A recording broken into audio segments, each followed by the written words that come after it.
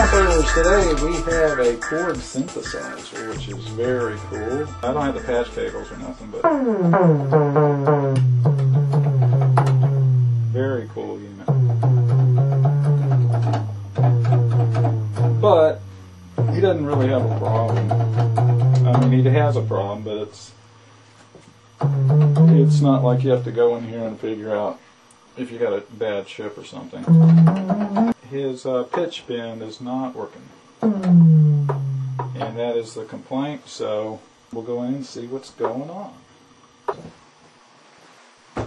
Okay, here we are picking up with this Korg again, and um, what it's doing is everything's working except the um, pitch bend. And what that does on this unit is it gives you one of the output uh, jacks makes available to another part of the unit uh, a plus and minus 5 volts or thereabouts. And it's not getting there, or it wasn't getting there. And it's one of those situations where the unit just started working. Um, upon looking at the schematic, you can see that the voltage source for the pitch bend is also the same voltage source for the chips and everything else in the unit.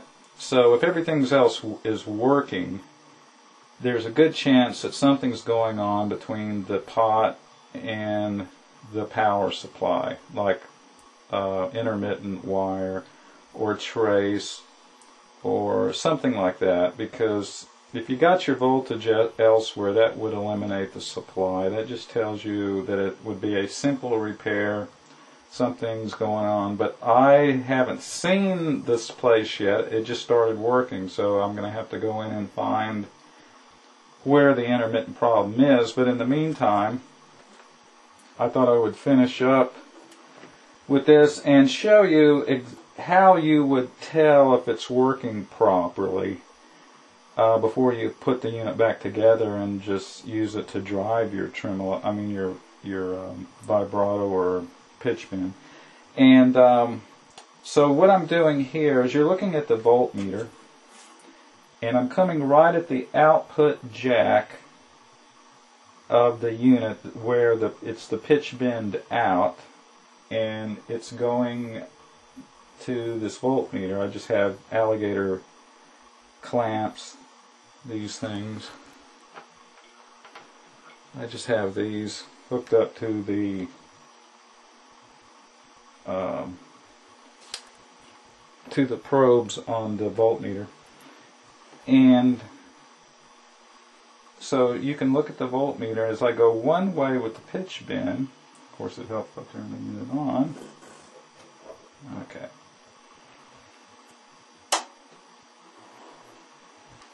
Okay, as you look at the voltmeter, you can see it's starting to swing. That's about center on this um, unit here on this pitch bend. It's about, what, 0.08 volts. So that that's pretty close to zero. I'm sure this thing's drifted a little over the years, but 0.08 is not bad. And um, so as we swing to one side of the pot, there's your 6 volts DC, and we go to the other side of the pot, you can see it swing to the negative rail, which is negative 6 volts. And then we go to center on the pitch bend, you're back at 0 volts.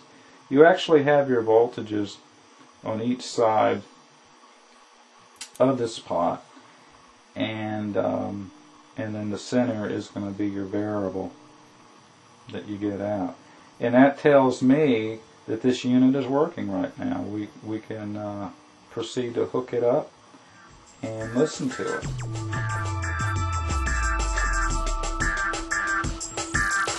Continuing with this uh, Korg synthesizer to verify that we have the pitch bend working.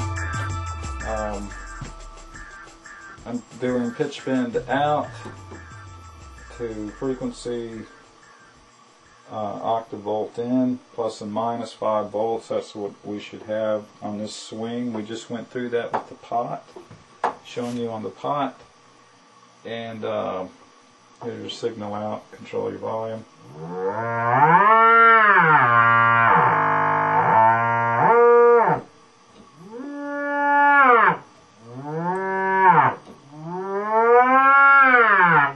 That's about it. Um, what to do now is clean it up for the customer and trade it